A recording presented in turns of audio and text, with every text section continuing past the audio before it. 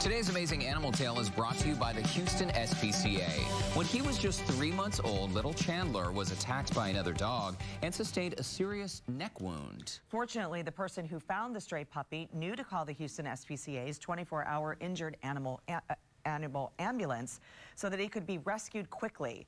The little terrier was covered in fleas and his neck was swollen and also painful. But look at that. I am so in love with this dog. What a cutie. Veterinarians at the Houston SPCA were able to clean the wounds, bandage him up to keep out the infection. And while he was healing from his dog attack, Chandler was also treated for kennel cough and a terrible internal parasite infestation, although you wouldn't know it from these photos. I mean, so cute. Yet through it all, he remained gentle and sweet. And now a month later, Chandler is healthy, happy, happy and ready to find himself a loving home.